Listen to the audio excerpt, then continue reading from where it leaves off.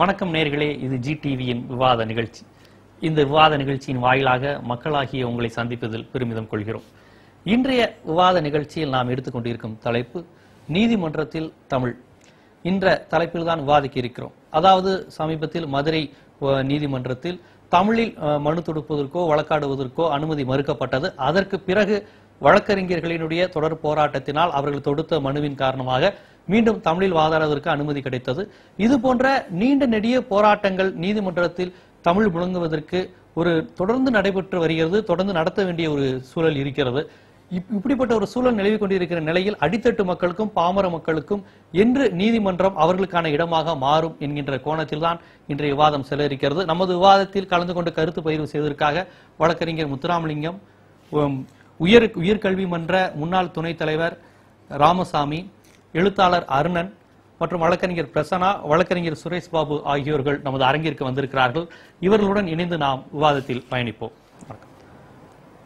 உங்கள்கிட்ட இருந்து இந்த விவாதத்தை ஆரம்பிக்கலாம்னு நினைக்கிறேன். இப்ப ஒரு நீதிமன்றம் அப்படிங்கிற விஷயம்ங்கிறது கண்டிப்பா வந்து ஒரு பிற மொழியினர் தெரிஞ்சவங்களுக்கோ மேட்டுக்குடி மக்களையோட சாதாரண மக்களுக்கு தான் அது மிகவும் ஒரு துணையா இருக்க இருக்கணும் அப்படிங்கிறது தான் ஒரு சரியான விஷயம். ஏன்னா அந்த மக்கள்கிட்ட தான் அதிகம் வழக்குகள் வருது. அவங்களுக்கான பிரச்சனைகளை தீர்க்கக்கூடிய இடமா தான் அது இருக்கணும். அப்படி இருக்கும்போது அங்க நடக்கக்கூடிய வழக்குல நமக்கா பேசுறவங்க என்ன பேசுறாங்கன்னு வழக்கறிஞர்களுக்கு வேணா புரியலாம்.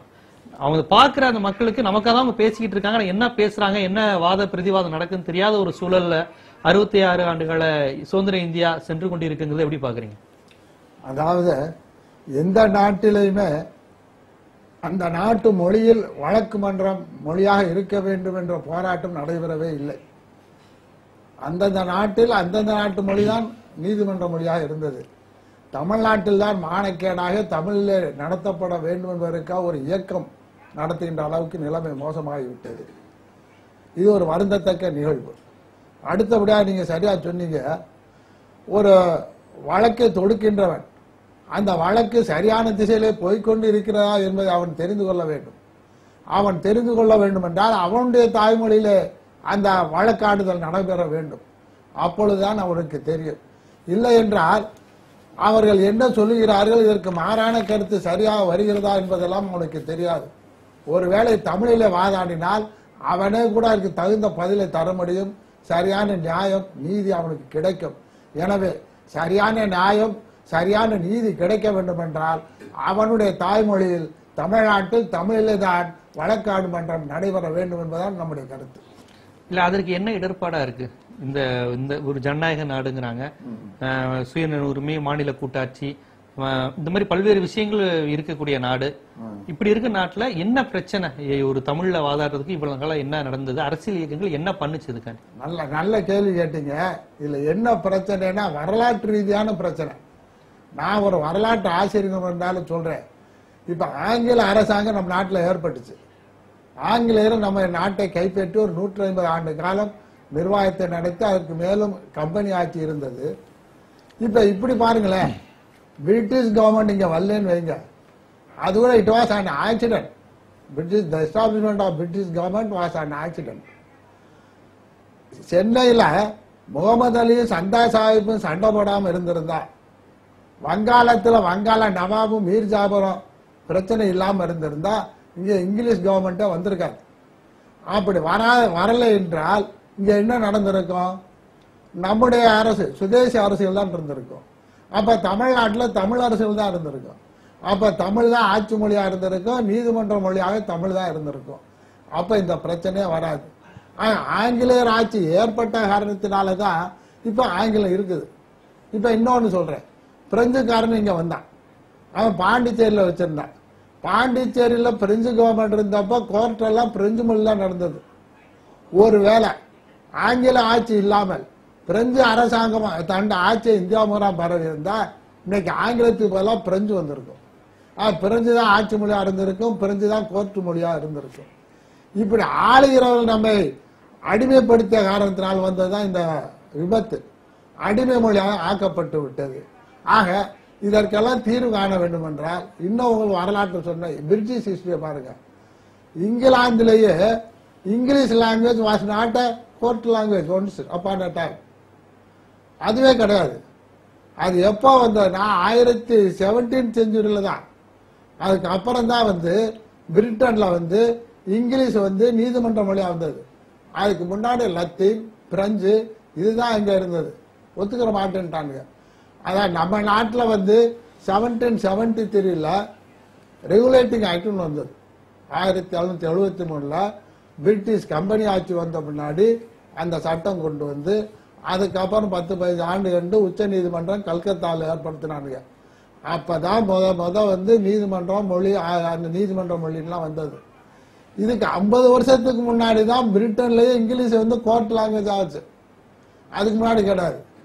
ஆனால் இன்னைக்கு இங்கே வந்த லேட்டாக வந்துட்டு அந்த இங்கிலீஷ் லாங்குவேஜில் நாங்கள் நடத்துவோம்னு சொல்லி அவங்க நடத்தி பிரிட்டிஷ்காரர் இருந்தப்போ அதுவே கண்டினியூ ஆயிடுச்சு இப்போ கான்ஸ்டியூஷன் சுதந்திரம் இந்தியா வந்த பின்னாடி என்ன நடந்திருக்கணும் இது ஒரு பெரிய துணைக்கண்டமாக இருக்குது. பல மொழிகள் பேசுகின்றார்கள். அந்தந்த பகுதியில் அந்தந்த மொழி ஆட்சி மொழி நீதிமன்ற மொழியாக இருக்குன்னு சொல்லி வந்திருக்கணும். ஆனால் அவர் constitution makers failed in that attempt அவங்க அதை செய்ய தவறிவிட்டார்கள். அதனுடைய விளைவை நாம் இன்று சந்தித்துக் கொண்டிருக்கிறோம். கண்டிப்பா சார். நீங்க வந்து இப்ப இந்த இப்படி ஒரு பிரச்சனை இது வந்து இப்போ உடனடியே களையப்பட வேண்டியதுங்கிறத அவங்க தெளிவா சொன்னாங்க. இதற்கு அரசியல் இயக்கங்கள் என்ன செய்திருக்கணும் அப்படின்னு பாக்குறீங்க? என்ன செய்யணுங்கிறது கூட என்ன செய்திருக்கணும்? இவ்வளவு. ஐயா நல்லா சொன்னது போல இது பல மொழிகள் பேசுகிற பல தேசிய இனங்களை கொண்ட ஒரு பெரிய நாடு. ஒரு அந்த வரலாற்று பாரம்பரியத்துடைய மிச்ச சொச்சமாக ஆங்கிலம் இங்கே இருக்கிறது என்பது ஒரு உண்மை. அதன் அடிப்படையில அதையே ஒரு மாதிரியாக பயன்படுத்தவும் நம்மால முடிந்தது. பல மொழிகள் பேசக்கூடிய ஒரு நாட்டில் அனைவருக்குமான மத்திய அரசுடைய அந்த அதன் கீழ் இருக்கக்கூடிய உச்ச நீதிமன்றத்திலே என்ன மொழி என வரும் பொழுது நம்முடைய அரசியல் சாசன சிற்பிகள் ஒரு நல்ல காரியத்தை பண்ணாங்க. அது ஆங்கிலம் என்று வைத்தார். அதை என்னால் புரிந்து கொள்ள முடிகிறது. அப்படி என்றால் அந்தந்த மாநிலங்களிலே இருக்கக்கூடிய உயர் நீதிமன்றத்தின் வழக்காடு மொழி என்ன என்கிற பிரச்சனை வந்தது. அங்கேயும் கூட புத்திசாலித்தனமாக ஒரு சரத்து அதிலே சேர்க்கப்பட்டிருக்கிறது. ஒருவேளை என்னை விட வழக்கறிஞர்கள் அதிகமாக பேசக்கூடும். அந்த சரத்து என்னன்னா எந்த ஒரு மாநிலமாவது தனது மாநிலத்திலே இருக்கக்கூடிய உயர் நீதிமன்றத்தின் வழக்காடு மொழியாக தனது மாநிலத்தின் ஆட்சி மொழி இருக்க வேண்டும் என்று விரும்பினால் அந்த அரசு அத்தகைய ஆலோசனையை மத்திய அரசுக்கு அனுப்பி அப்படி ஆக்கலாம் என்று அதில் இருக்கிறது. அந்த அடிப்படையில் தான் சில மாநிலங்களிலே வட மாநிலங்களிலே அங்கே இருக்கக்கூடிய உயர் நீதிமன்றங்களின் வழக்காடு மொழியாக இந்தி இருக்கிறது. நம்ம அரசியல்வாதிகள் ஆட்சியாளர்கள் வெகு காலமாக அந்த சரத்தை பயன்படுத்தவில்லை. எங்களை போன்ற முற்போக்கு எழுத்தாளர்கள் வேறு சில அமைப்புகளும் இதை நாங்கள் சொல்லிக்கொண்டே வந்தோம். தமிழ்நாட்டினுடைய உயர் நீதிமன்றத்தின் வழக்காடு மொழியாக தமிழை ஆக்க அரசியலமைப்பு சட்டத்திலேயே வாய்ப்பு இருக்கிறது. அதை ஏன் தமிழக அரசு பயன்படுத்தக்கூடாது என்று கேட்டோம். நல்ல வேளையாக பிறகுதான் அண்மையிலே தான் தமிழக சட்டமன்றத்திலே அதற்கான தீர்மானம் நிறைவேற்றப்பட்டு மத்திய அரசுக்கு அனுப்பப்பட்டது. இங்க இருக்கக்கூடிய ஆளுநரும் ஒப்புக்கொண்டு மத்திய அரசு என்ன பண்ணியிருக்கணும்? அரசியல் சாசனத்தின்படி ஒரு மாநில சட்டமன்றம் தமிழக சட்டமன்றம் தமிழை தமிழ்நாட்டுடைய உயர் நீதிமன்றத்தின் வழக்காடு மொழியாக ஆக்குங்கள் என போட்ட தீர்மானத்தை ஒப்புக்கொண்டு அப்படியே செய்க என்று சொல்லியிருக்கணுமல்ல? ஆனா அரசியல் சாசனத்தை இல்லாத ஒரு வேலையை பண்ணாங்க. அது என்னன்னா உச்ச நீதிமன்றத்தின் ஆலோசனையை கேட்டாங்க. இது தேவையே இல்லை என்பது என்னுடைய கருத்து அவங்களும் சொல்லட்டும். உச்ச நீதிமன்றம் என்ன சொல்லுச்சுன்னா இல்ல ஏற்க முடியாது. ரொம்ப நாள் கடப்புல போட்டாங்க பிறகு ஏற்க முடியாதுன்னு சொல்றாங்க. அதை காண்பித்து அவர்கள் அந்த தீர்மானத்தை ஏற்கவில்லை. இப்ப ஏற்கனவே சில வட மாநிலங்கள்ல அவங்களுடைய இந்தி மொழியை வாங்குனப்ப அப்ப மத்திய அரசு எப்படி நடந்து கொண்டது? ஆமா அப்பெல்லாம் வந்து அது எனக்கு சரியா தெரியல. உச்ச நீதிமன்றத்தின் ஆலோசனை பெற்றாங்களா இல்லையா என்று. ஆனா நான் என்ன கேட்கிறேன் அப்பொழுது உச்ச நீதிமன்றத்துடைய ஆலோசனை பெற்று அதற்கு ஒப்புக்கொண்டாங்கள் என்று வைத்துக் கொண்டால் அதே ஒப்புதலை உச்ச நீதிமன்றம் மற்ற மொழிகளுக்கு தமிழ் உள்ளிட்ட மொழிகளுக்கு ஏன் தர மறுக்கிறது என்கிற கேள்விக்கு அவர்கள் பதில் சொல்ல வேண்டும். அதே போல மத்திய அரசு அந்த பதிலை பெற்றிருக்க வேண்டும் சாதகமான பதிலை. அப்ப இந்திக்கு ஒரு நீதி தமிழ் உள்ளிட்ட பிற மொழிகளுக்கு இன்னொரு நீதி என்று அநீதி இங்கே நடந்திருக்கிறது. அதை தட்டி கேட்கிற நிலையிலே இன்றைக்கு தமிழக அரசு என்ன செய்தது? தமிழகத்துடைய அரசியல் சக்திகள் என்ன செய்கின்றன என்கிற கேள்விதான் என் நெஞ்சிலே பிரதானமாக இருக்கிற கண்டிப்பா சார். சார் நீங்க வழக்கறிஞர் முறையில அந்த முன்னூற்றி நாற்பத்தி எட்டாவது பிரிவின் அடிப்படையில் தான் தமிழில் வாதாட முடியாது. இந்திய அரசியல் சட்டம் அப்படி சொல்கிறது அப்படிங்கிற விஷயத்தை கூட அவங்க நீதிபதி சொல்லியிருக்காங்க. ஏன் தமிழ்ல வாதாட முடியாது? முன்னூத்தி நாற்பத்தி எட்டாவது பி- இந்திய அரசியலமைப்பு சட்டம் முன்னூத்தி நாற்பத்தி எட்டு ரெண்டுல படி ஒரு மாநிலத்துல அந்த முன்னூத்தி நாற்பத்தி எட்டுல கூடாது அந்த பிரிவு ரெண்டின் படி பிரிவு பிரிவு ரெண்டின் படி. வந்து. அந்த மாநிலத்தினுடைய ஆளுநர் அந்த பெரும்பான்மை மக்கள் விரும்புகிற மொழியில வழக்க அலுவல் மொழி அலுவல் மொழி ஆக்குவதற்கு அவர்கள் ஜனாதிபதியுடைய ஒப்புதலோடு அந்த ஆளுநர் வந்து அறிவு பிரகடனப்படுத்தலாம் இதுதான் வந்து முன்னூத்தி நாற்பத்தெட்டு பிரிவு ரெண்டு சொல்லுது இப்ப தமிழ்நாட்டில் என்னன்னா தமிழ் வடநாட்டில் வந்து இமாச்சல் பிரதேசம் ராஜஸ்தான் மத்திய பிரதேசம் உள்ளிட்ட நான்கு மாநிலங்களில் வந்து இன்றைக்கு இந்தி வந்து ஆட்சி மொழியாக உயர்நீதிமன்றங்களிலே செயல்பட்டு வருகிறது. இன்றைக்கு தமிழ்நாட்டை பொறுத்த வரைக்கும் தமிழ் ஆட்சி மொழியாக செயல்பட வேண்டும் என்று ரெண்டாயிரத்தி ஆறிலே தமிழக சட்டசபையிலே தீர்மானம் நிறைவேற்றப்பட்டது. தமிழக சட்டசபையின் தீர்மானம் மத்திய அரசுக்கு அனுப்பப்படுகிறது. மத்திய அரசிலே பேராசிரியர்கள் சொன்னதைப் போல அவங்க ஜனாதிபதி என்ன செய்கிறார் என்றால் உச்சநீதிமன்றத்தினுடைய தலைமை நீதிபதி கேஜி பாலகிருஷ்ணன் அவர்களிடம் இதுக்கான ஆலோசனை கேட்கப்படுகிறது. அப்பொழுது கேஜி பாலகிருஷ்ணன் அவர்கள் என்ன சொல்கிறார்? பிராந்திய மொழிகளுக்கு எங்களுக்கு அமுல்படுத்துவதில் எங்களுக்கு கட்டமைப்பு வசதி இல்லை. எனவே இப்போதைக்கு அது முடியாது என்று சொல்லிவிட்டார் என்ன கட்டமைப்பு வசதி இல்லைங்கிறாங்க? பிராந்திய மொழிகளிலே எங்களுக்கு கீழ்மை நீதிமன்றங்களிலே இது உயர்நீதிமன்றங்களிலே அந்த கலைச்சொற்கள். எல்லா எல்லாமே எங்கள் கட்டமைப்பு வசதி இல்லை என்ப- என்கின்ற காரணத்தினால் எங்களது பிராந்திய மொழிகளிலே இப்பொழுது கொண்டு வர இயலாது என்று சொல்கிறார். ஆனால் ஒரு- நிமிடம் சார். நமது விவாத இணைப்பில் வழக்கறிஞர் நளினி அவர்கள் இருக்கிறார். அவருடைய கருத்தை கேட்டு நாம் பயணிப்போம். வணக்கம். வணக்கங்க. வணக்கம். இப்ப நீதிமன்றத்தில் தமிழில் வழக்காட வேண்டும் வழக்காடுவதற்கான நடைமுறைகளை கொண்டு வர வேண்டும் என்கிற போன்ற ஒரு மிகப்பெரிய போராட்டங்கள் அதற்கான கோரிக்கைகள் குரல்கள் எழுந்து வருகிறது தமிழகத்தில். இந்த விஷயத்தை எப்படி பாக்குறீங்க நீயா இத நான் எப்படி பாக்குறேன்னாக்க இந்த தமிழ்ங்கிற ஆட்சி மொழியை வந்து இதுல கொண்டு வரணும் கோர்ட்ல கொண்டு வரணும்னு சொன்னாக்க நீதிமன்றங்கள்ல. ரெண்டு மூணு வித்தியாசங்கள் இருக்கு. இப்ப என்ன பாத்தீங்கன்னாக்க எல்லா உயர் நீதிமன்றங்கள்லயும் சுப்ரீம் கோர்ட்ல என்ன பண்றாங்க உச்ச நீதிமன்றத்துல டிரான்ஸ்பர்ல வந்து வெளிநா மாநிலத்துல இருந்து இங்க ஜட்ஜஸ் டிரான்ஸ்பர் பண்றாங்க. ஸோ பணி நிமித்த மூலியமா டிரான்ஸ்பர் ஆகி இங்க வரைச்சு அவங்களுக்கு தமிழ்ங்கிற ஒரு லாங்குவேஜ் வந்து புதுசா இருக்கும். இப்ப நம்மளுடைய தமிழ்காரங்க இப்ப அங்க மேற்கு வங்காளத்துக்கு போனா வங்காளத்துல பேசினாங்க அவங்களால ஃபாலோ பண்ண முடியாது. புரிஞ்சு கொண்டு ஒரு கரெக்டான ஒரு தீர்வை வந்து முடிவெடுக்க முடியாது. அவங்க வாதாடும் போது என்ன பேசுறாங்க அவங்களுக்கு வந்து இப்ப பின்பற்ற முடியாது. அதே மாதிரி ஒரு டெல்லி ஒரு யூபி ஒரு ஜட்ஜஸ் இங்க டிரான்ஸ்ஃபர் பண்ணி வந்தாங்கனாக்கா நம்ம தமிழ்ல பேசினா அவங்களால ஃபாலோ பண்ண முடியாது. அதுக்கோசரம் நம்மளோட திருப்பி வந்து டிரான்ஸ்லேஷன் பண்ண சொல்லி காப்பீஸ் கொடுப்பாங்க. இதனால வந்து வழக்கினுடைய நேரம் வந்து நீடிக்கும். வாய்தா ஆகும் இதனால நீடிக்கும். ஆல்ரெடி பெண்டிங் இருக்கு இந்த மாதிரி அவங்க மொழி மொழி மாற்றம் செய்ய தெரிஞ்ச ஒரு நீதிபதியை பக்கத்துல வச்சுக்கல பிரச்சனை இல்லையா. இப்ப பாத்தீங்கன்னாக்க துறை மாற்றம் சொல்றனாக்க இப்ப பாத்தீங்கன்னாக்க குவாரம்ல வந்து ரெண்டு ஜட்ஜஸ் இருக்காங்க. ஒவ்வொருத்தரும் ஒவ்வொரு ஒப்பீனியன் ஃபார்ம் பண்ணுவாங்க. சோ இவங்க அவங்கள்ட்ட எடுத்து சொல்றது இவங்க எடுத்து சொல்றது வந்து ஒப்பீனியன் தன்னுடைய ஒப்பீனியனை வந்து அவர் மேல திணிக்கிறதுக்கான ஒரு வாய்ப்புகளும் உண்டு. ஏன்னா வந்து இந்த லாங்குவேஜ் இருக்கு. இன்னொரு. வந்து சட்டங்கள் சில சட்டங்கள்லாம் வந்து ஒரு எனக்கு ஒரு நிமிடம். நளினி ஒரு நிமிடம் இருங்க. உங்களிடம் ஒரு கேள்வி வருகிறது. அது கேளுங்க. வணக்கம்மா எனக்கு ஒரு ஐயப்பாடு. நீங்க சொன்னீங்க வெளி மாநிலங்கள்ல இருந்து ஒரு நீதிபதி இங்க வர்றாரு. அவருக்கு தமிழ் தெரியாது அதனால சிக்கல் வரும்னு சொன்னீங்க. ரொம்ப சரியா சொன்னீங்க. ஆனா நான் கேட்கிறது ஒரே ஒரு நீதிபதிக்கா ஏழு கோடி பேர் புறக்கணிக்கப்படுவது நியாயமா? ஏழு கோடி பேருக்கு தெரிந்த மொழியில தானே நடக்கணும். அந்த ஒருத்தர் ஏழு கோடி பேருக்கு தெரிந்த மொழியை படிச்சுக்கிட்டு வரலாமே. தெரிஞ்சுட்டு இல்ல வரலாமே. அது மட்டும் இல்ல. இதே மாதிரி இந்தி பிரதேசங்கள்ல மட்டும் இந்தி பிரதேசங்கள்ல மட்டும் இந்தி அனுமதிக்கப்பட்டிருக்கேன் மேடம். இல்ல இல்ல ஏழு கோடி அங்க அந்த பேர் பிரச்சனை இல்லையா? நண்பர் சொல்றாரு. ஏழு கோடி பேர் பாதிக்கப்படுறாங்கிறது வந்து நீங்க எடுத்தீங்கன்னாக்க இப்ப கீழ் இந்த ஏழு கோடி பேரும் பார்த்துக்கிட்டு தான் மேல் வராங்க. சோ அவங்களுக்கு கீழையும் பார்த்து பாதகமாகுது. அவங்களுடைய மொ- மொழியில பேசி அது ப்ரெசென்ட் பண்ணி எவிடன்ஸ் எல்லாம் கொடுத்து அவங்க மொழியில கொடுத்து இங்க மேல வராங்க. மேல உயர் நீதிமன்றத்துல வரும்போது சட்ட பிரச்சனை மட்டும் தான் பார்க்கப்படுகிறது. உச்ச நீதிமன்றத்திலும் உயர் நீதிமன்றத்திலும் மக்களுடைய தன்னுடைய எவிடன்ஸ் அனாலிசிஸ் எல்லாம் கிடையாது. சட்ட ரீதியா புறம்போக்கா இருக்க மாத்தி சொல்லியிருக்காங்களா? கீழ் ரெண்டு கோட்டுகளைங்கிறது தான் அனாலிசிஸே வருது. அந்த அனாலிசிஸ் வரும்போது பிரச்சனையை தீர்வாயும் போது சட்ட நுணுக்கத்தை தான் பாக்குறாங்களே தவிர ஏழு கோடி ஜனங்களுடைய மாற்று கருத்து இவங்க வந்து மாத்தி எழுத போறது இல்ல கீழே வந்து இது பணிபுரிகிற நீதிபதிகள் தவறு செய்திருக்கிறார்கள் தான் இல்லம்மா நான் மெரிட் ஆஃப் த கேஸை நான் பேச வரல. நான் சொல்றது ஏழு பேரு ஏழு கோடி பேருக்கு தெரிஞ்ச மொழியை ஒருத்தர் படிச்சுக்கலாமா? இல்ல ஒருத்தருக்கு தெரிஞ்ச மொழியில தான் ஏழு கோடி பேர் நியாயம் கேட்கணுமாங்கிறது? தான் நம்ம இணைப்பு அவங்க என்ன சொல்றாங்கன்னா அஹ், இந்த சட்ட நுணுக்கங்கள் இதையெல்லாம் வந்து ஒவ்வொரு மாநில மொழிகளுக்கும் பிராந்திய மொழிகளுக்கும் மாற்றுவது என்பது ஒரு சிரமமாக இருக்கிறது. அந்த கட்டமைப்பை ஏற்படுத்துவது அப்படிங்கிற மாதிரி விஷயத்துல அவங்க அதுக்கு அருணை நல்லா கேட்டார். இந்த அம்மா கேட்கிற கேள்வி நியாயம்னா இந்தி பேசுற போதில இந்தி வந்து நீதிமன்ற மொழியா இருக்கு உயர் நீதிமன்றத்துல.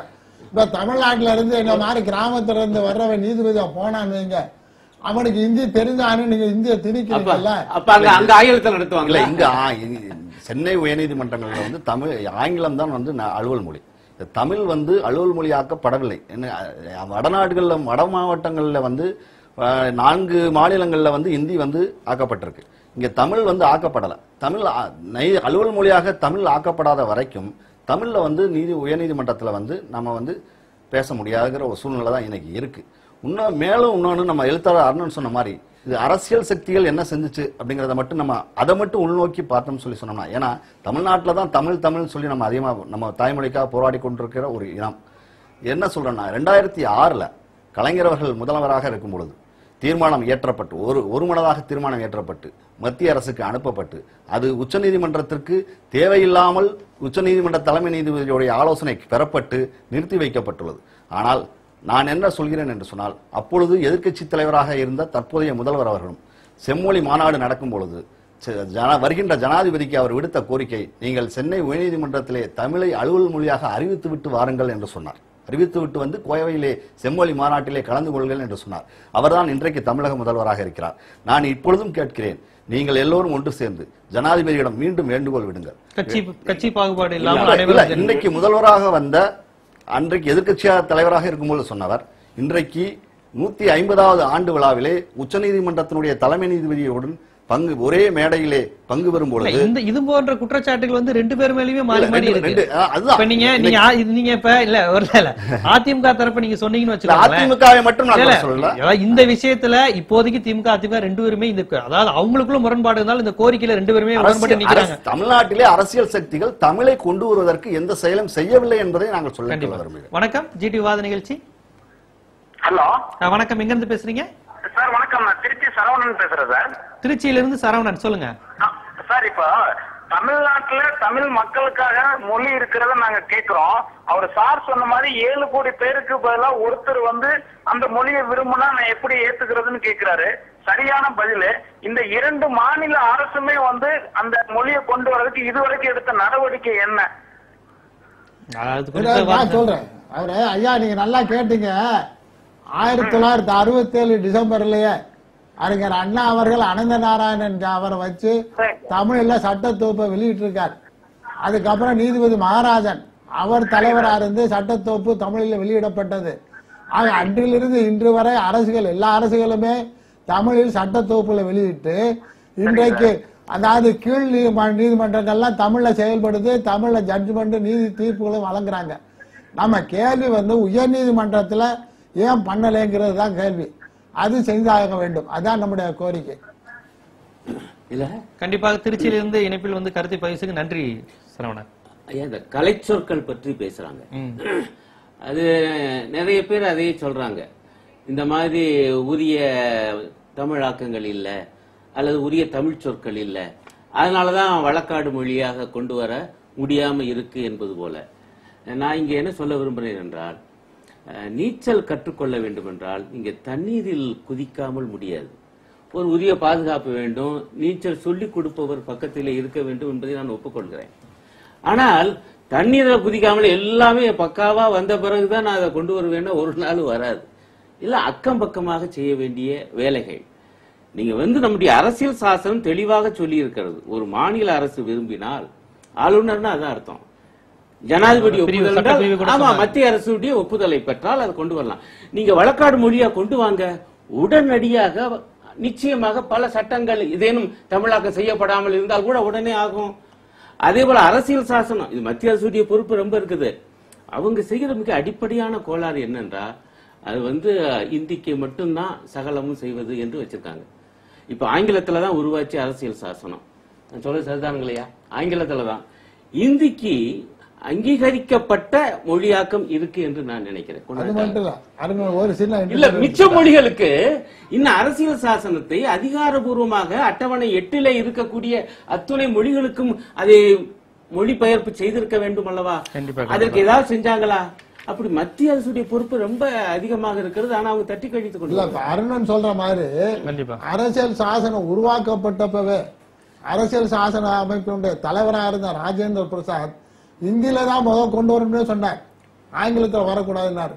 பண்டிட் ஜவஹர்லால் நேரு தான் இங்கிலீஷ்லாம் வரணும்னு சொல்லிட்டு அப்புறம் இங்கிலீஷ்ல இருந்தாங்க. அப்பவே வந்து ராஜேந்திர பிரசாத் என்ன சொன்னாரு? இந்தியில டிரான்ஸ்லேஷன் உடனே பண்ணணும்னாரு அதுக்காக அப்பவே பண்ணாங்க. இதெல்லாம் இந்திய இவ்வளவு அவசரம் கொடுத்திருக்காங்க. தமிழுக்கு இவ்வளவு அறுபத்தாறு ஆண்டு காலமே அவங்க ஒன்னே செய்யல. கண்டிப்பா. பிரசனா சொல்லுங்க. ஆ, பிரசன்னா அதாவது இந்த நடுவண் அரசு தொடர்ந்து ஒரு தமிழ்ல வந்து மொழி மாற்றம் வருவதற்கோ இந்த சட்ட நுணுக்கங்கள் கலைச்சொற்கள் வருவதற்கான விஷயங்கள் எந்த முனைப்பும் காட்டவில்லை அப்படிங்கிற குற்றச்சாட்டு வச்சிருக்காங்க. நீங்க எப்படி பாக்குறீங்க நிச்சயமா. அதற்கு முன்னதாக வந்து ஒரு திருத்தத்தை நான் இந்த அவையில் பதிவு செய்ய ஆசைப்படுகிறேன். முன்னூத்தி நாற்பத்தி எட்டு என்பது எந்த மொழியையும் தடை செய்வதற்கான சரத்து அல்ல. அதனுடைய உருத்து என்பது எந்தெந்த மொழிகளை உச்சநீதிமன்றம் மற்றும் உயர்நீதிமன்றங்கள் மற்றும் பில்ஸ் என்று சொல்லப்படுகிற மசோதாக்கள் மற்றும் ஆக்ட்ஸ் என்று சொல்லப்படுகிற சட்டங்களை பயன்படுத்துவதற்கான மொழி பட்டியலை உருவாக்குவதற்கான சரத்து.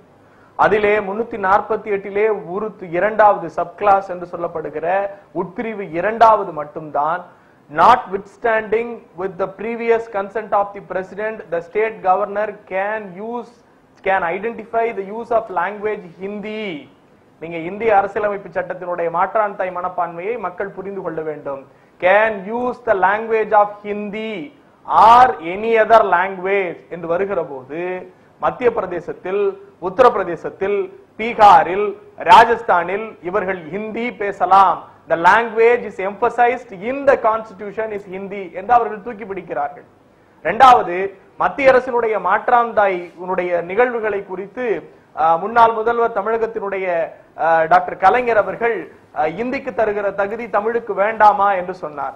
அவையில் அங்கே பேசிக் கொண்டிருந்த நபர்கள் கூட சொன்னார் கட்டமைப்பு என்று வருகிற போது என்னவென்று. முதல் முதலாக அண்ணா அவர்களுடைய காலத்திலிருந்து தன்னுடைய கருத்துருக்களை எல்லாம் பதிவு செய்தார் என்று அஹ், மூத்த அறிஞர் மரியாதைக்குரிய ஐயா ராமசாமி அவர்கள் பதிவு செய்தார். அதனுடைய தொடர்ச்சியின் ஊடாக பார்த்தோம் என்று சொன்னால் இரண்டாயிரத்தி ஆறில் இந்த நிகழ்வை உறுதிப்படுத்துவதற்கான முதல் தொடக்கமாக டாக்டர் கலைஞர் அவர்கள் ரெண்டாயிரத்தி ஆறு அதே புள்ளியில் இருங்க. தொடர்ந்து உங்கள்ட்ட கேள்விகள் இருக்கு. அந்த நளினி இணைப்புல மீண்டும் வந்திருக்காங்க. அவங்கள்ட்ட உங்கள்ட்ட கேள்வியை கேட்கலாம். வணக்கம்.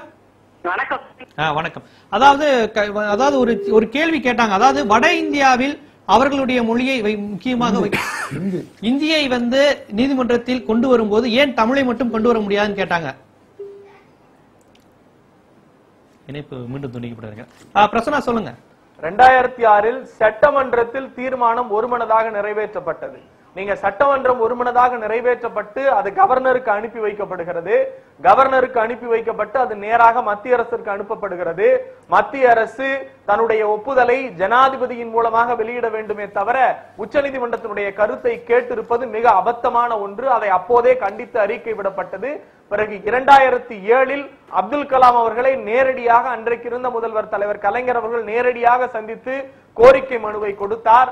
பிறகு அதனுடைய முதல் கட்டமாக இருபத்தி இரண்டு கோடி ரூபாயை ஒதுக்கி தமிழினுடைய உட்கட்டமைப்பை மாற்றுவதற்கும் தமிழ் சட்ட சொற்களஞ்சியங்களை உருவாக்குவதற்கு சென்னை உயர்நீதிமன்றத்திற்கு மட்டும் ஏறக்குறைய இருபத்தி இரண்டு கோடி ரூபாயை ஒதுக்கியது திராவிட முன்னேற்ற கழகத்தினுடைய அன்றைய ஆட்சி. இல்ல இப்ப ரெண்டாயிரத்தி ஆறுல இருந்து தான் நீங்களே திமுக என்ன செஞ்சுச்சுங்கிற விஷயத்த சொல்றீங்க இல்லைங்களா? அடிப்படையில அது செய்தது செய்தது. அப்படிங்கிற விஷயத்த வந்து நம்ம எல்லாருமே வரவேற்கிறோம்.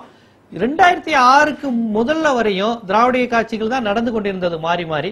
என்ன இது போல இப்ப இந்த பிரச்சனையை ஏன் அவங்க வந்து இவ்வளவு பெரிய ஒரு முக்கியத்துவம் வாய்ந்த பிரச்சனையா கையில் எடுக்கல? நிச்சயமா நிச்சயமா. நீங்க நீதி உயர் நீதிமன்றங்களினுடைய அந்த வழக்கறிஞர்களுடைய சதவீதத்தை எடுத்து பாத்தீங்கன்னா நான் பிராமின்ஸ் மூவ்மெண்ட் பிராமணர் அல்லாதோர் சங்கம் தோற்றுவிச்சு பாத்தீங்களா அந்த வரலாற்றுல இருந்து நீங்க வரணும்.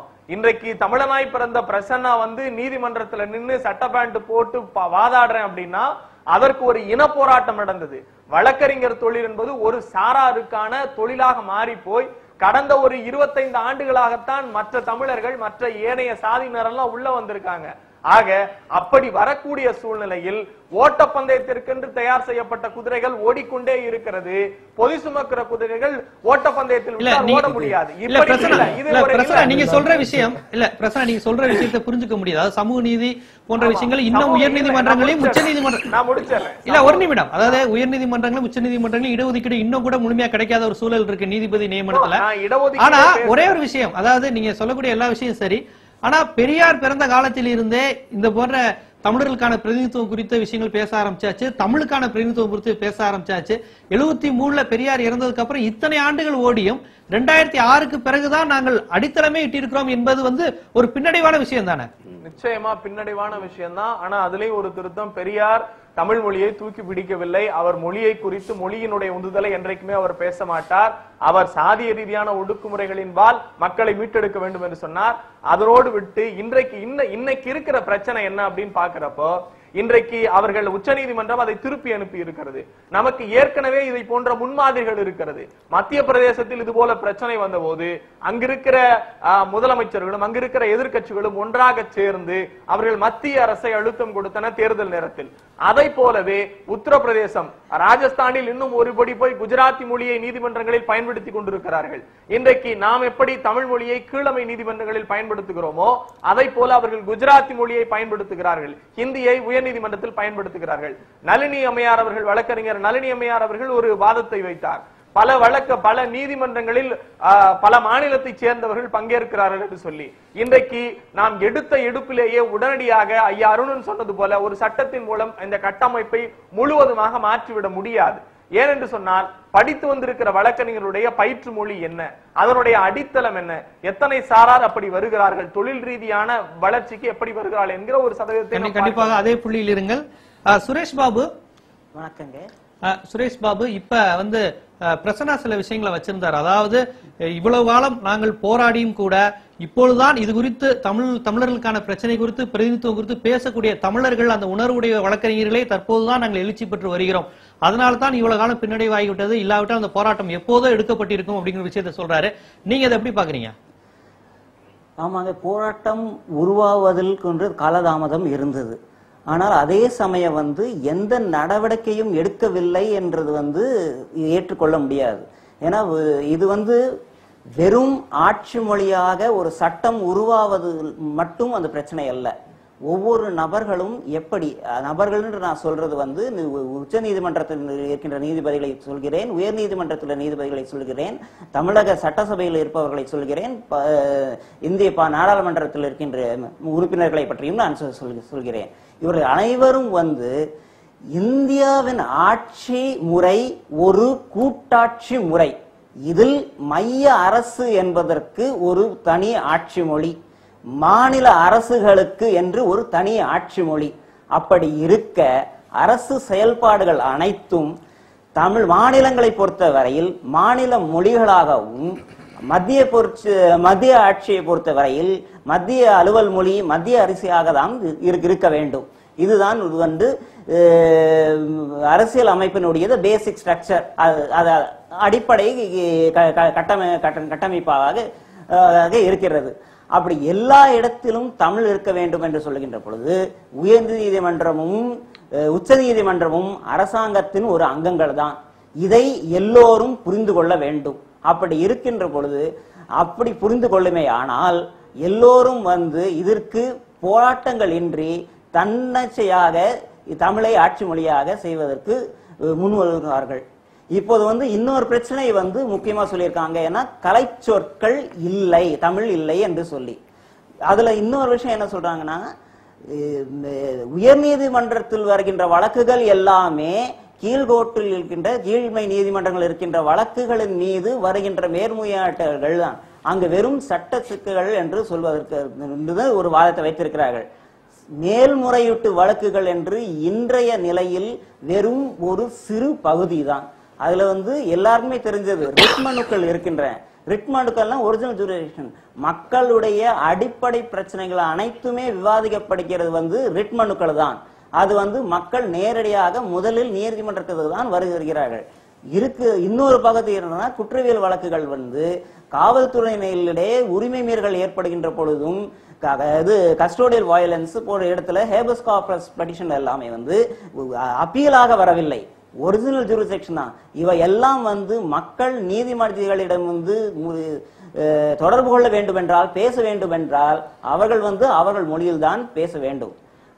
அலைச்சொற்களை பொறுத்தவரை வந்து அப்பீல்னாவே எடுத்துக்கோ மேல்முறையீடாகவே எடுத்துக்கொள்வோம். என்னைக்கு இன்னைக்கு என்ன கட்டமைப்பு இருக்கு நீதிமன்றத்தில்? முதல்ல ஃபர்ஸ்ட் டயர்ல முனிசிப் கோர்ட்ஸ்ல ஸ்மால் காஸ்ட் கோர்ட் சிறு வழக்குகள் நீதிமன்றங்கள் இருக்கு. அதுக்கு அப்புறமாக வந்து மாவட்ட நீதிமன்றங்கள் இரு- இருக்கின்றன. அதுக்கு அப்புறமா தான் உயர் நீதிமன்றங்கள். முதல்ல ஃபர்ஸ்ட் பிரைமரியில் இருக்கக்கூடிய கூடிய ஸ்மால் காசஸ் கோர்ட்லயோ முனிசிப் கோர்ட்லயோ இருக்கக்கூடிய வழக்குகள் மீதான மேல்முறையீடுகள் டிஸ்ட்ரிக்ட் கோர்ட்டுக்கு வருது மாவட்ட நீதிமன்றங்களுக்கு வருது. ஒரே நிமிடம் ஒரே அதே பிள்ளைகள் இருங்க வணக்கம். ஜிடி விவாத நிகழ்ச்சி. வணக்கம் சார். வணக்கம், எங்க இருந்து பேசுறீங்க? தமிழ்ச்செல்வன் பேசுறேன். சோழத்வாராபுரத்துல இருந்து தமிழ்ச்செல்வன் பேசுறேன். சொல்லுங்க. ஆக்சுவலி என்னன்னா தமிழ்நாட்டுடைய உயர் உயர்நீதிமன்றத்துல எந்த லாங்குவேஜை யூஸ் பண்ணுங்கிறது தான் இந்தியாவில் இந்தியாவுல இருக்கிற பல லாங்குவேஜில் யூஸ் பண்ற எந்த எந்த உயிரினம் அந்தந்த உயர்நீதிமன்றத்துல கேள்வி கிடையாது. ஒவ்வொரு உயர்நீதிமன்றத்திலையும் அந்தந்த மொழிவாரி மாநிலத்தில் அடிப்படையில உயர்நீதிமன்றத்துல லாங்குவேஜ் யூஸ் பண்ணுங்கிறது தான் பிரதான கேள்வியே. தமிழ்நாட்டுல இருக்கிற உயர்நீதிமன்றத்துல தமிழ்ல வாதாடணும். தமிழ்ல இருக்கிற குற்றவாளி எல்லா குற்றவாளியும் தமிழ்ல தான் இருப்பான். அதனால தமிழ்நாடு குற்றவாளிகளை தமிழர் புரிஞ்ச மாதிரி தமிழ்ல வாழானுங்கிறது சரியான விஷயம். ஏற்கனவே வந்து பி. ராமமூர்த்தி தமிழ்ல வந்து தந்தி கொண்டாடுன்னு போராடினார். இல்லையா தந்தி சேவையே முடிஞ்சு போச்சு. தமிழ்ல ஏற்கனவே தந்தி சேவை முடிஞ்ச பிறகு குறைந்தபட்சம் இருக்கிற நீதிமன்றங்களாவது உயர் நீதிமன்றங்களாவது தமிழ்ல வாழணும்னு சொல்லி போராடுறாங்க. தமிழ்ல வாழணும் வேண்டாமா? கண்டிப்பா சார் அறிவுறுத்த சென்று கொண்டிருக்கிறது. நேர்களே நமது விவாதம் இந்த நீதிமன்றத்தில் தமிழ் முழக்கம் குறித்து பல்வேறு விஷயங்கள் அதாவது தமிழில் கலை சொற்கள் சட்ட புத்தகத்தை தமிழில் மொழிபெயர்த்தல் போன்ற பல்வேறு விஷயங்களும் அரசியல் இயக்கங்கள் என்னென்ன செய்திருக்கின்றன என்னென்ன செய்ய வேண்டும் என்கின்ற தளத்தில் சென்று கொண்டிருக்கிறது. ஒரு சிறிய இடைவெளிக்கு பிறகு நமது வாதம் தொடரும்.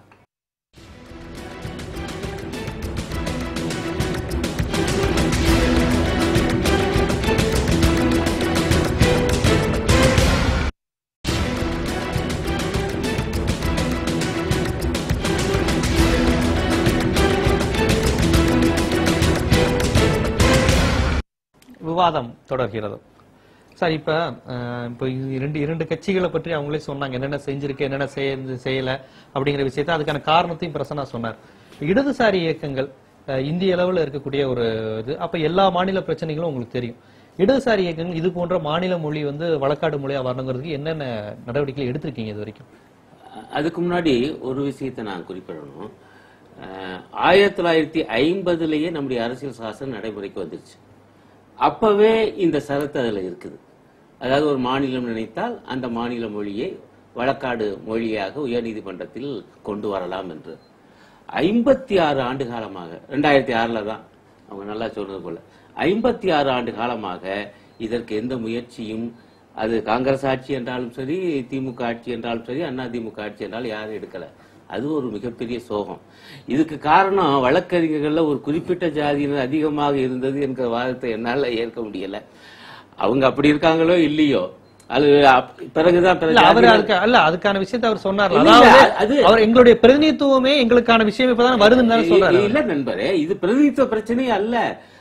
இங்க இருக்கிறவங்க திமுக அதிமுக போன்றவங்க இயல்பாகவே அந்த மொழிக்காக அந்த மொழி. போராட்டத்துல இருந்து வந்தவங்க. அவங்க கொண்டு வந்திருக்க வேண்டியது பார்த்துட்டு. இருக்கணும்.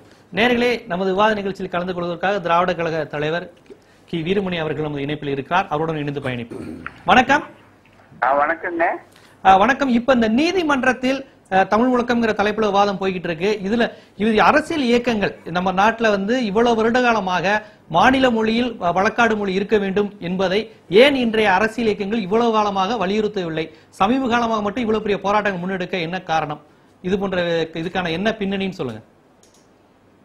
அவ்வப்போது இந்த பிரச்சனைகள் கிளப்பப்பட்டு பேசப்பட்டிருந்தாலும் கூட தொடர்ந்து இதை முன்னெடுத்து செல்ல பல அரசியல் கட்சிகள் தவறிவிட்டன என்பது ஒப்புக்கொள்ளப்பட வேண்டிய ஒரு உண்மையாகும்.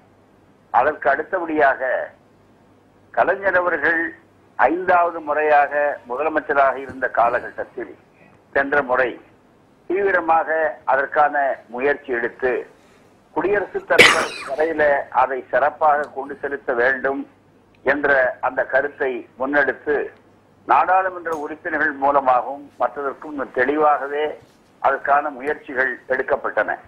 மதுரையிலே இருக்கக்கூடிய வழக்கறிஞர் பெருமக்களும் சென்னையில் உயர்நீதிமன்றத்தில் இருக்கக்கூடிய வழக்கறிஞர் பெருமக்களும் மிகப்பெரிய அளவிற்கு அவ்வப்போது இங்கே அறவழி கிளர்ச்சிகளை செய்து கருத்துக்களை உருவாக்கி கொண்டிருந்த நிலையிலே கூட சில சில நேரங்களிலே நீதிமன்றத்திலே பழைய தலைமை நீதிபதி ஜஸ்டிஸ் இக்பால் அவர்களும் சரி அதற்கு முன்னாலே ஒரு நீதியரசர் அவர்களும் சரி அவர்கள் தன்னுடைய விருப்புக்கு ஏற்ப அதாவது தங்களுடைய அனுமதி என்பதை ஒரு சலுகை போல தமிழிலே நீங்கள் வாதாடலாம் என்று சொன்னார்கள்.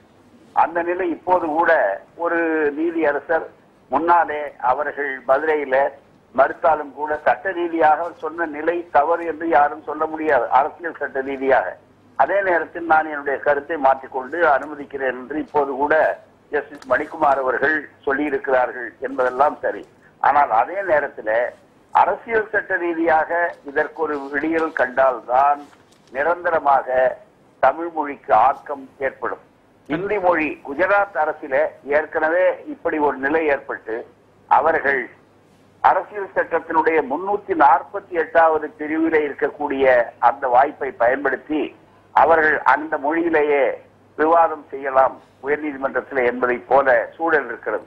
இந்திக்காரர்களுக்கு இன்னொரு வசதி சொந்த மொழியாகவும் அந்த மாநிலத்திலே அமைந்திருக்கிற அதே காலகட்டத்திலே அது ஆட்சி மொழியாகவும் இருக்கக்கூடிய ஒரு சூழல் இருக்கிறது.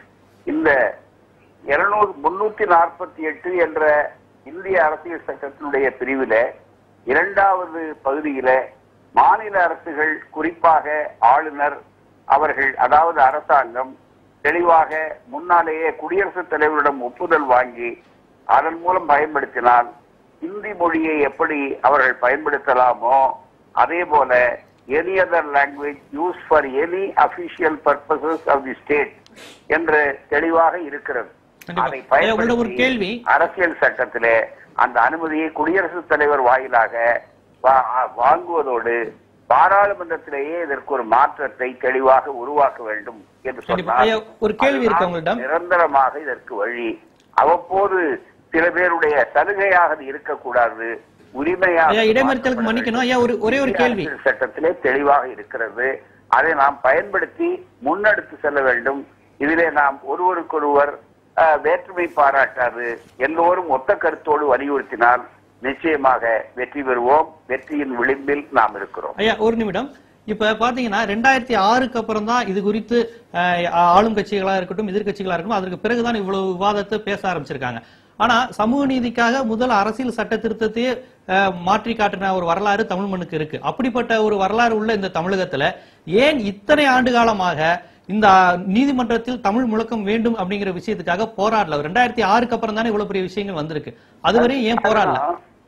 மொழி பிரச்சனை என்பது தீராத ஒரு பிரச்சனையாக இந்தி திணிப்பின் மூலமாக இருந்து கொண்டே வந்தது. ஆயிரத்தி தொள்ளாயிரத்தி அறுபத்தைந்து வரையில இந்த மொழி பிரச்சனை என்பது திரும்ப திரும்ப வந்து கொண்டிருந்த கூடிய அளவில ஒரு ரூபத்துல இல்லாவிட்டாலும் இன்னொரு ரூபத்துல ஹிந்தி மொழி திணிப்பு என்பது இருக்கிற போது அந்த ஹிந்தி மொழி திணிப்பிலே தான் அதுல கவனம் செலுத்த வேண்டிய ஒரு மிகப்பெரிய ஆபத்து. இது இரண்டாவது பட்சமாகத்தான் இது வரக்கூடிய சூழல் இருந்தது. ஆகவேதான் அது வந்து அப்போது ஏன் எடுக்கவில்லை என்று கேட்க வேண்டிய அவசியமே இல்லை. இப்போது எடுத்தாலும் அதுல நியாயம் இருக்கிறதா இல்லையா? தேவை இருக்கிறது இல்லையா? என்பதுதான் பார்க்க வேண்டும். ஏன் அப்போது செய்யவில்லை என்றால் அப்போது அதற்குரிய மிகப்பெரிய நெருக்கடி வரவில்லை. இப்போது அது தெளிவாக உணர்ந்திருக்கிறார்கள். அது மட்டுமல்ல இப்போது ஏற்பட்டிருக்கிற விழிப்புணர்ச்சி இந்தியாவிலே இருக்கிற மிகப்பெரிய பல மொழிகளும் மத்தியிலே ஆட்சி மொழிகளாக வர வேண்டும். ஒரு மொழிதான் சொல்ல வேண்டிய அவசியம் இல்லை என்று சொல்லக்கூடிய அளவிற்கு பல்வேறு மாநிலங்களிலும் விழிப்புணர்வு வந்திருக்கிறது. மொழி பிரச்சனையில இந்தி அதனுடைய இடம் என்ன? அதே நேரத்தில் மற்ற மொழிகள் அதனுடைய இடம் என்ன என்று சொல்லக்கூடிய உணர்வுகள் இருக்கின்றன. உதாரணமாக அதாவது இந்த செம்மொழி என்ற பிரச்சனையை எடுத்தார்கள். ஏன் அப்பவே எடுக்கவில்லை என்று கேட்க வேண்டிய அவசியம் இல்லை. இப்போதாவது எடுத்தார்கள் அதில் வெற்றி பெற்றார்கள். அதுபோல இது காலம் தாழ்ந்திருந்தாலும் பெட்டர் லேட் than நெவர் என்று ஆங்கிலத்திலே சொல்வதைப் போல இது நடந்திருக்கிறது வரவேற்க வேண்டியது முன்னெடுத்து செல்ல வேண்டியது. கண்டிப்பாக உங்கள் நேரம் ஒதுக்கி இணைப்பில் வந்து கருத்தை பதிவு செய்ததுக்கு மிக்க நன்றி. நன்றி வணக்கம். இதுல நான் ஒரு கருத்து சொல்றேன். நாம சுதந்திரம் அடைஞ்சு ஆயிரத்தி தொள்ளாயிரத்தி நாற்பத்தி ஏழுல அப்ப இந்த பிரச்சனை வரல. ஐம்பதுல தான் அரசியலமைப்பு நடைமுறைக்கு வருது. அப்போ இந்த பிரச்சனை வரல. ஐம்பத்தி ஆறில் தான் மாநிலங்கள் திருத்தி அமைக்கப்படுகின்றன மொழிவாரி மாநிலங்கள். தமிழ்நாடுங்கிறது அப்போ தான் வருது. அப்போ இந்த பிரச்சனை வரல. அறுபதுகளில் என்ன ஆச்சுன்னா ஆசிரியர் ஐயா சொன்ன மாதிரி இந்திய ஆட்சி மொழி பிரச்சனை பெருசாக இருந்தது. ஏன் அறுபதில் பிரச்சனை பெருசாக இருந்ததுன்னா அரசியல் அமைப்பில் அறுபத்தைந்தாம் ஆண்டுக்கு பிறகு இந்தி மட்டுமே ஆட்சி மொழி என்று இரு- இருந்தது. அப்ப நாம இந்திய திணிப்பை எதிர்த்து போராடாமல் இருந்திருந்தால் நாம எல்லாம் இன்னைக்கு இந்தியில பேசிட்டு இருந்திருப்போம். அதை எதிர்க்க வேண்டிய கட்டாயத்திற்கு தமிழக மக்களும் மாணவர்கள் ஆறான காரணத்தினால அறுபதுல இந்தி திணிப்பை எதிர்த்து போராட்டம் நடத்தினார்கள். ஓரளவு அதுல வெற்றி பெற்றார்கள். நன்றாக சொல்கிறேன் ஓரளவு தான் வெற்றி பெற்றிருக்கோம். இன்னும் முழுமையாக வெற்றி பெறவில்லை. அந்த சூழ்நிலையில் உயர் நீதிமன்ற மொழியை பற்றி நாம் எடுக்கவில்லை. முழுமையாக கவனம் செலுத்தவில்லை. ஆனால் அறிஞர் அண்ணா அவர்கள் அந்த காலத்திலிருந்தே சொல்லிக்கொண்டே வந்தார்கள். எல்லா நீதிமன்றங்களும் உயர் நீதிமன்றங்களும் தமிழிலே செயல்பட வேண்டும் என்று ஆசிரியர் குறிப்பிட்டது போல இது காலங்கடந்த ஒரு முயற்சியாக இருந்தாலும் கூட இதில் அனைவரும் ஒன்றிணைந்து நாம் வெற்றி பெற வேண்டும். கண்டிப்பாக இப்ப சொல்லுங்க நீ. அதாவது நான் இடதுசாரி இயக்கங்களை திராவிட இயக்கங்களை பற்றி ஐயம் சொல்லிட்டாங்க. விருந்தினர்கள் நிறைய பேர் குறித்து பார்த்து பேசினாங்க இடதுசாரி இயக்கங்கள் ஏக இந்திய அரசியல் பேசக்கூடியவர்கள். எல்லா மாநில இருக்கக்கூடிய தொழிலாளிகள் ஒடுக்கப்பட்டவர்கள் பாடுபடக்கூடிய ஒரு அமைப்பாக இருக்கிறது. அப்படி இருக்கும்போது இந்த பிராந்திய மொழியில் நீதிமன்றத்தில் வழக்காடு மொழி வேண்டும் என்பது இடதுசாரி இயக்கங்கள் இதுவரை என்ன செய்திருக்கிறது அதுக்காக என்னென்ன கோரிக்கைகள் வைத்து போராடி இருக்கிறது. ஐயா வந்து அந்த வரலாறை அங்க சுட்டி காண்பித்தாங்க. நான் ஒரு விஷயத்தை இங்க பதிவு செய்ய கடமைப்பட்டிருக்கிறேன்.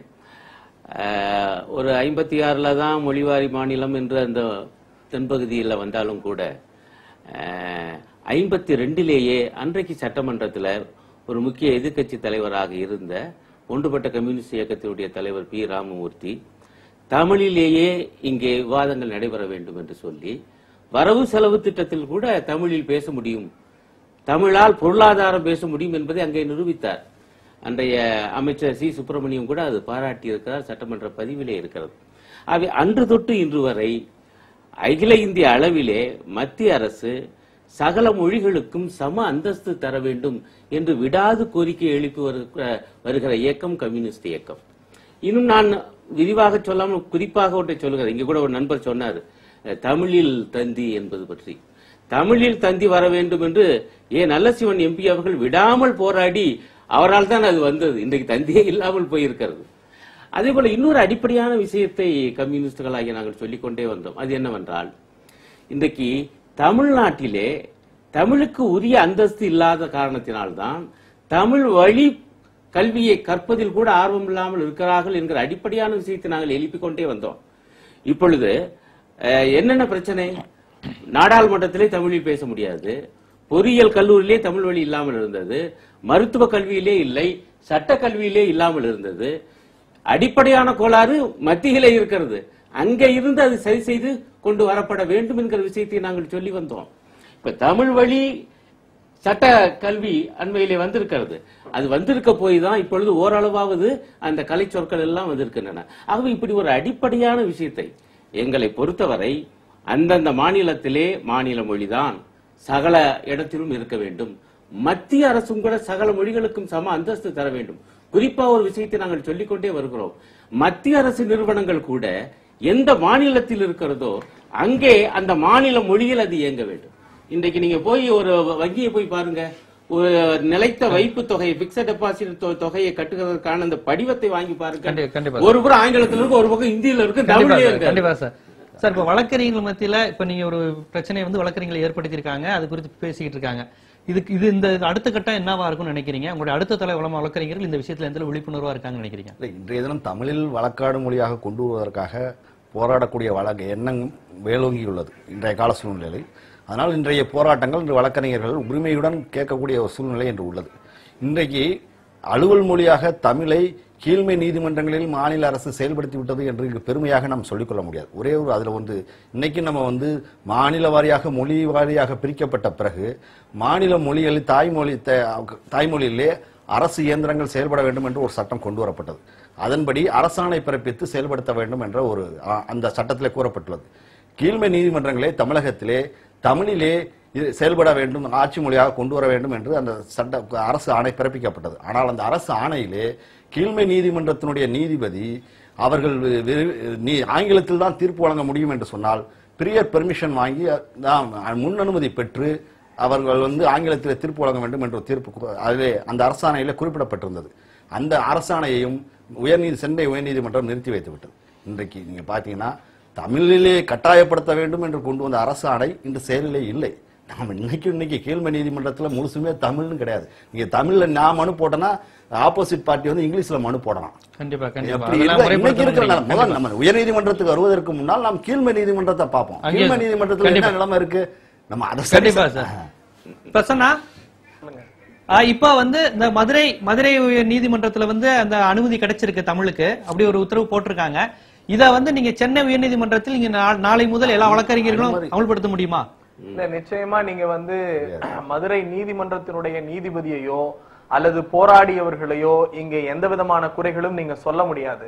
ஏன்னா இந்திய அரசியலமைப்பு இல்ல குறை சொல்ல நான் யாரையும் குறை சொல்லலன்னு சொல்லல. இங்க கேள்விக்கு நான் பதிலளிக்கிறேன்.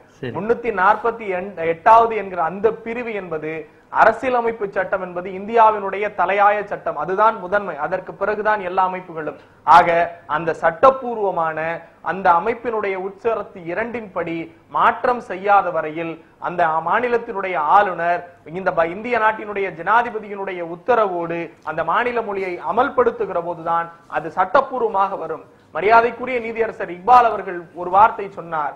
அது டிஸ்கிரிஷனரி ஆஃப் த ஜட்ஜ் அந்த ஜட்ஜினுடைய விருப்பத்திற்கு ஏற்ப என்கிற வாதத்தை வைத்தார். அந்த அந்த நீதிபதியினுடைய விருப்பம் தமிழிலே கேட்பதாக இருந்தால் கேட்கலாம் என்று சொன்னபோது கடந்த வருடம் வந்த மரியாதைக்குரிய நீதியரசர் சிவகுமார் அவர்கள் கூட சொன்னார் இதை நான் விசாரிக்கிற போது எதிர்த்தரப்பினர் ஆங்கிலத்தில் தாக்கல் செய்தால் இதில் ஏற்படுகிற பிரச்சனைகளுக்கு நான் பொறுப்பாக முடியாது ஆகவே வேறு நீதிபதிக்கு மாற்றுகிறேன் என்றார். அதை தொடர்ந்து மரியாதைக்குரிய பகவத்சிங் அவர்கள் இன்னைக்கு மதுரை உயர்நீதிமன்றத்திலே இந்த பிரச்சனை வந்திருக்கிறது. அந்த தவறை உணர்ந்தாரா என்பது இல்லை. அந்த நியாயமான கோரிக்கையை ஏற்று நீதியரசர் அந்த வழக்கை நடத்துகிறேன் என்று சொன்னார்.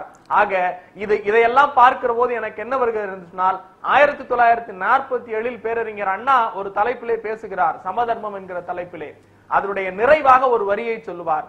சொல்லுகிற போது உபகாரம் என்பது உபகாரம் என்பது ஐயோ பாவம் என்கிற வார்த்தையினுடைய வெளிப்பாடு. உரிமை என்பது ஏன் என்கிற குரலினுடைய முழக்கத்தினுடைய வெளிப்பாடு என்பார். இங்கே ஐயோ உபகாரம் நாங்கள் தமிழிலே வாதாடுகிறோம் என்கிற ஐயோ உபகாரம் என்பது எங்களுக்கு தேவையில்லை. இது எங்களுடைய உரிமை. That is entitled for us. இது எங்களுடைய உரிமை. இந்திய அரசியலமைப்பு சட்டத்தில் கொடுக்கப்பட்டிருக்கிறது. ஆக இன்றைக்கு ஆண்டு கொண்டிருக்கிறவர்கள் எதற்கெடுத்தாலும் நீதிமன்றம் போகிறவர்கள் ஆளுநரை பரிந்துரை செய்து ஏற்கனவே நிறுத்தி வைக்கப்பட்டிருக்காவது கண்டிப்பா கொடுப்பதற்கு கண்டிப்பா. கண்டிப்பா பிரசன்னா உங்களை போன்ற வழக்கறிஞர்கள் நாளையிலிருந்து அதற்காக போராடுவார்கள் என்றே நாம் எதிர்பார்ப்போம். சுரேஷ்? வணக்கங்க. சுரேஷ் நீங்க சொல்லுங்க. இந்த நிகழ்ச்சியினுடைய நிறைவு பகுதிக்கு நம்ம வந்திருக்கோம். இந்த விவாதம் குறித்து உங்களுடைய நிறைவு கருத்தை பதிவு செய்யுங்க. அதாங்க இது ஆட்டு தமிழ்ல வந்து கலைச்சொற்கள் இல்லை. அதாவது நான் முன்னால பேசினது விடுபட்ட இடத்துல இருந்து நான் சொல்றேன். கலைச்சொற்கள் இல்லை என்பது ஒரு குறைபாடும் அல்ல. ஏன்னா மேல்முறையீட்டு வழக்குகளும் கூட இது டிஸ்ட்ரிக்ட் கோர்ட் லெவல்ல எல்லாத்துலயுமே கலைச்சொற்கள் பயன்படுத்துகிறார்கள். அதே போல வந்து ஹைகோர்ட்ல வரும்போது மட்டும் ஏன் அந்த வந்து வார்த்தைகள் இல்லை என்ற ஒரு பஞ்சம் இருக்கின்றது. அதனால் த- தமிழிலே தமிழில் ஆட்சி மொழியாக உருவாக்குவதற்கு ஒரு டெக்னிக்கலாக ஆயுத ரீதியாகவோ சட்ட ரீதியாகவோ எந்த ஒரு பிரச்சனையும் இல்லை. ஆனால் அரசுகள் அரசியல் கட்சிகள் அனைத்தும் ஒரே தீர்மானமாக நின்று இதை முன்னெடுத்து சென்றால் இது இது சிறு சிறு செயல்பாடுகள் மூலமாக ஆட்சி மொழி உயர் நீதிமன்றத்தில் இது ஒரு ஆட்- தமிழ் ஆட்சி மொழியாக உருவாகும். இதை சொல்லிக்கொண்டு நான் நிறைவு செய்கிறேன். ஐயா கலைச்சொற்களை பத்தி ஒரு கண்டிப்பா. கருத்து கலைச்சொற்களை பத்தி ஒரு கருத்து சொல்றேன் அறிஞர் அண்ணா அவர்களே இதுக்கு பதில் சொல்லியிருக்கார். தமிழ்ல தானே கண்ணகி வாதாடினார். அவருடைய வாதத்தை அப்ப பிரிட்டிஷ்காரெல்லாம் வரலையே நமக்கு. இருங்க. பிரிட்டிஷ்காரன் கிடையாது ஆங்கிலம் பிரச்சனையே கிடையாது. தானே இருந்தது. இல்ல அடுத்த வரைதான் நீங்க கவனிக்கணும். அண்ணா சொல்றாரு தமிழில் தானே வாதாடினால் ஆங்கிலத்தில் கூட அவருடைய வாதத்தை அந்த அளவுக்கு சொல்ல முடியாதுன்னு சொன்னார். அது உண்மையான வாதம். ஏன்னா வழக்கறிஞர் படிச்சாருன்னா தெரியும். நீ நிறைய கண்ணகிகளுக்கு நீதி கிடைக்கல. ஆங்கிலம் இல்ல, இருக்கிறதுனால. சொல்றீங்க. ஆமா இப்ப வந்து நான் சொல்றேன் நீங்க பாருங்க அந்த கோர்ட் அந்த பாண்டியன் நெடுஞ்செழியன் அவையில கண்ணை வர்றா. வர்றப்ப நெடுஞ்செழியன் கேட்கிறா யாரையோ நீ மடக்கொடி இங்க எம்முன் வந்தோய். நீர்வார் கண்ணுடன் கேட்கிறேன் அதுக்கு கண்ணை பதில் சொல்றான். இப்ப நம்ம எல்லாம் என்ன சொல்லியிருப்போம்? யாருன்னா நான் தான் ராமசாமி குப்புசாமிம்போம் கண்ணை அப்படி சொல்லல. அவனை செவிட்டுல அரைஞ்ச மாதிரி கேட்டான் தேரா பண்ணா செப்புவதுடைய என்ன? அதுல ரெண்டும் அர்த்தம் இருக்குது. யாரையோ நீ மடக்கொடி இங்க முன் வந்தோ நீர்வார் கண்ணுடன் சொன்னல இவன் மன்னனா இருக்கிறவன் மதுரை அன்னைக்கு இந்த மாதிரி பெருசு இல்லை. ஒரு ஐயாயிரம் பேர் தான் இருந்திருப்பான். ஒற்றர்கள்லாம் இருக்கிறான். ஒருத்தர் ரோட்டு வழியா வர்றா தெருவில் வர்றா. வர்றப்பே வர்றா. தெய்வம் உண்டுகள் தெய்வம் உண்டுகள் சான்றோரும் உண்டுகள் சான்றோர் உண்டுகள்னு கதறிக்கிட்டு வர்றா. இவன் ஒற்றர் வந்து உனக்கு சொல்லியிருக்கணும்ல. இந்த மாதிரி ஒரு பொ- பொண்ணு வர்றா. அவன் புருஷனை நீங்க கொண்டு விட்டீங்க அப்படின்னு சொல்லிட்டு ஒற்றர்கள் எங்க போனேன் இதெல்லாம் தெரியாம தான் நீ கேட்கிறேன்னு சொல்லிட்டு தேராமண்ணா செப்புவதுடையன்னு சொன்னேன் சேராம பண்ணா நாட்டுல என்ன நடக்குன்னு தெரியாம நீ கேக்குற. ஒண்ணு அடுத்து நான் எந்த ஊர்ல இருந்து வந்திருக்கேன் நான் சொன்னா தெரியுங்களா? சிறு சக்கரவர்த்தி மனு மனுநீதி சோழன் இருந்த நாட்டுல இருந்து வந்தேன்னு சொல்லி கடைசியில தான் கண்ணகி சொல்றான் ரொம்ப அருமையான அறிமுகம் அதெல்லாம் இலக்கியத்தை படிச்சா தெரியும் அண்ணா அதனால ஆனா என்ன கடைசி- குடும்பம்னா கண்ணகி தமிழ வாதாடியும் உங்களுக்கு நீதி கிடைக்கல உங்களுக்கு இல்ல கிடைச்சிச்சு. கடைசி அவன் சொன்னானே கிடைப்பதற்காக நானோ அரசன் யானே கல்வன் உடனே கிடைச்சிச்சு நீதி. தமிழ்ல வாதாட பெண்ணு. இப்ப அருணன் சொன்ன மாதிரி இதுக்கு ஒரே வழி நீந்த தெரிஞ்சுக்கிட்டு கொ- குளத்துல குதிக்க முடியாது. அதுக்கான கட்டமைப்பை நம்ம எல்லாரும் சேர்ந்தா உருவாக்கணுங்கிறீங்க. நன்றி. நேர்களே இன்றைய விவாத நிகழ்ச்சியை பொறுத்தவரை நீதிமன்றத்தில் தமிழ் முழக்கம் என்கின்ற விஷயத்தை வந்து இங்க வந்திருந்த அனைத்து விருந்தினர்களும் வந்து மிக அழகாக பதிவு செய்தார்கள். அதாவது பெரும்பாலும் தமிழில் வரக்கூடாது என்பதற்கு அவர்கள் வைக்கின்ற முக்கிய வாதமாக இதற்காக சட்ட கலை சொற்களை தமிழில் இன்னும் உருவாக்கவில்லை அதற்கான சட்ட புத்தகங்கள் இன்னும் உருவாகவில்லை அப்படிங்கிற வாதத்தை அவங்க வச்சாங்க. அதுக்கு பதில் சொன்ன இவர்கள் இனிமேல் தான் கட்டமைப்பை நாம் உருவாக்க வேண்டும் அதை நாம் சொல்லிக்கொண்டே இருக்கக்கூடாது அதை நாம் இன்றிலிருந்தே தொடங்கணும். இப்போ துவங்கினால்தான் அதற்கான வேலையை நாம் செய்ய முடியும். ஆனால் அது செய்ய வேண்டிய பணி அப்படி செய்தால் மட்டுமே பாமர மக்களும் சாமானிய மக்களுக்குமான இடமாக நீதிமன்றங்கள் இருக்கும். அவர்களுக்காக வாதாடுபவர்கள் என்ன வாதாடுகிறார்கள் என்பதை புரிந்து கொள்ளக்கூடிய வாய்ப்பை அவர்களுக்கு வழங்க வேண்டும். அப்போதுதான் அது உண்மையில் ஒரு நீதிமன்றமாக இருக்கும் என்பதை அங்கு வந்திருந்த அனைத்து விருந்தினர்களும் பதிவு செய்தார்கள். அது மட்டுமல்லாமல் இங்கு தமிழகத்தில் தமிழ் மொழிக்காகவும் சமூக நீதிக்காகவும் பல்வேறு போராட்டங்கள் நடந்திருந்தாலும் இங்கு இந்த நீதிமன்றத்தில் தமிழ் முழக்கம் என்பதற்கான ஒரு போராட்டம் என்பது மிக ஒரு தாமதமாகவே துவங்கி இருக்கிறது. அதற்கான என்ன காரணங்கள் என்றால் ஆயிரத்தி தொள்ளாயிரத்தி ஐம்பத்தி ஆறுக்கு பிறகுதான் மொழிவழி மாறினமாக பிரிந்தது. அறுபத்தி ஏழு அறுபத்தி ஐந்தில் இந்திய எதிர்ப்பு போராட்டங்கள் நடைபெற காரணமாக இருந்தது. போன்ற பல்வேறு போராட்டங்களால் இந்த போராட்டத்தை நம்மால் இப்போதுதான் எடுத்திருக்க முடிகிறது என்கின்ற கருத்தையும் இங்கு வந்த விருந்தினர்கள் பதிவு செய்தார்கள்.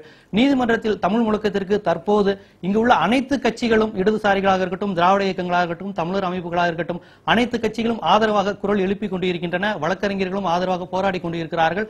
இந்த போராட்டம் போராட்டம் கண்டிப்பாக நடுவண் அரசின் காதை எட்டி அதற்கான தீர்வு பிறக்க வேண்டும் என்பதே இந்த விவாத நிகழ்ச்சியின் நோக்கம். மீண்டும் ஒரு விவாத நிகழ்ச்சியில் சந்திக்கும் வரை உங்களிடமிருந்து விடைபெறுவது ஜீவ சகாப்தன்.